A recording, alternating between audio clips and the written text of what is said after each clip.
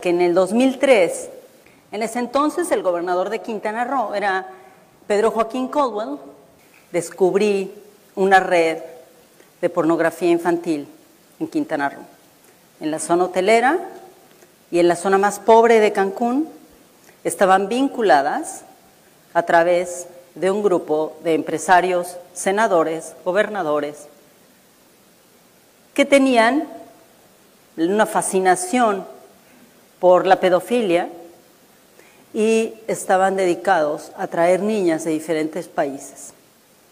Y cuando empezamos a descubrir esta red, por supuesto una de las niñas fueron a denunciar frente a la autoridad y la autoridad lo que hizo fue llamarle al líder de esta banda de traficantes para avisarle que ya lo habían denunciado y él se fue a los Estados Unidos. Él había traído, hasta donde yo pude documentar, 200 niñas y niños a la zona hotelera de Quintana Roo, de Cancún, frente al mar, a donde venían empresarios y políticos a tener sexo con niñas entre 4 y 13 años. Sabíamos los nombres de todos estos sujetos, teníamos fotografías con niñas y niños menores de 13 años.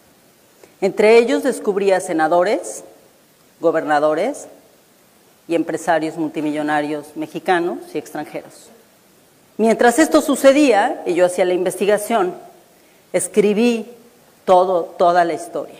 Llegó a mi oficina un sujeto, un hotelero conocido de Quintana Roo. Entonces yo tenía tres escoltas. La escolta femenina estaba dentro de mi oficina. Él entró a mi oficina y enfrente de mi escolta federal me ofreció un millón de dólares para mi organización de parte de un hotelero y de un senador mexicano. Me dijeron, mire, usted, señora Cacho, no va a sobrevivir. No va a poder publicar ese libro que quiere publicar. Nadie sabía que yo iba a publicar un libro, excepto, por supuesto, la Secretaría de Gobernación, que tenía investigados mis teléfonos. No va a poder hacer eso. Y si usted acepta este dinero para ayudar a las pobrecitas víctimas que reciben su refugio, todos vamos a seguir siendo amigos y no va a haber ningún problema. Y le vamos a ayudar a detener al líder de la banda de criminales, pero a él.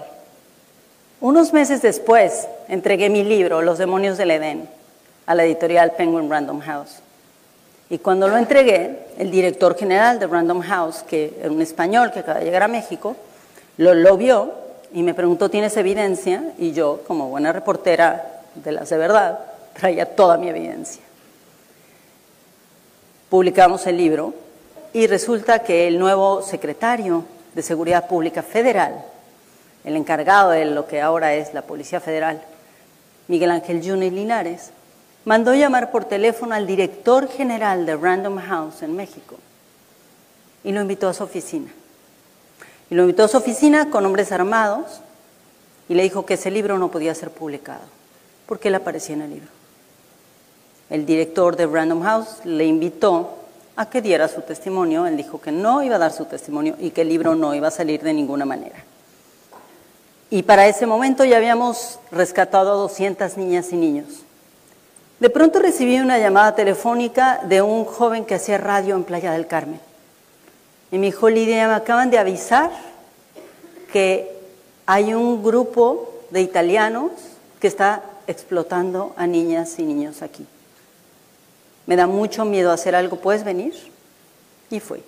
Y encontré una niña de cinco años que tenía un billete canadiense con un mensaje de amor que le había puesto el hombre que había pagado para poder tenerla y abusar de ella. Entonces seguí la pista del sujeto y el sujeto había llegado por, barco. Al mismo tiempo, las leyes norteamericanas habían avanzado ya en temas de trata de personas. Y ya los agentes de ICE estaban deteniendo a sujetos norteamericanos que iban a Tailandia y Camboya. Y entonces empecé a investigar y descubrí que estos americanos que venían buscando a niñas y niños, que iban a buscar a niñas y niños para efectos de explotación sexual comercial, a Camboya, Tailandia y otros países del sureste asiático, empezaron a viajar, a México. Y empezaron a viajar a México porque no había leyes, por la impunidad, porque era más barato, porque era más fácil y porque podían salirse con la suya. Mientras estaba haciendo esta investigación, llegó la policía aquí a Cancún, afuera de mis oficinas, vestidos civiles, 10 sujetos armados, pusieron un arma, mi escolta estaba parada donde está la cámara y mi escolta se quedó inmóvil. La, estos policías vestidos de civiles me secuestraron y durante casi 24 horas me torturaron. Me dijeron que me iban a matar. Me dijeron quién los había mandado, el gobernador de Puebla. Me dijeron por qué razones, por haber publicado Los demonios del Edén y porque me había metido en la vida privada de todos estos senadores, gobernadores y empresarios. Afortunadamente yo había hecho toda una estrategia de seguridad antes de que sucediera cualquier cosa en caso de que me secuestraran, de que pasara algo, de que me mataran, de que me atacaran o atacaran a alguien de mi familia y los medios se enteraron a tiempo. Entonces la policía que me secuestró se vio obligada a llevarme viva a Puebla en lugar de matarme en el camino como me habían prometido si yo no firmaba ahí mismo un documento diciendo que el contenido de mi investigación era absolutamente falso. Llegué viva, me metieron a la cárcel, salí de la cárcel y pasé un año firmando todos los días en la cárcel de Cancún por haber cometido el delito de difamar a un grupo de criminales que se dedicaban a la trata y explotación sexual comercial de niñas y niños. Pero no solo eso. En el libro Los demonios del Edén en realidad consigné el lavado de dinero y cómo se vinculaban entre ellos como una red. Unos gobernadores no eran pedófilos, pero si le daban el dinero al líder que estaba en Las Vegas y que él era el que hacía el lavado de dinero a través de diferentes bancos. Otros sí eran pedófilos y estaban grabados por Jan Sukarkuri, el líder de la banda, y él los estaba extorsionando. Entonces era una, una, red de extorsión, de lavado de dinero, de pornografía infantil, de trata de personas, de tráfico ilegal, cumplía con todos los paradigmas y todo lo consigna en mi libro. Esto se vincula directamente con las desapariciones forzadas. México tiene en este momento, según las autoridades, 30.000 personas desaparecidas. Y según la investigación que estoy a punto de publicar, tenemos 90.000.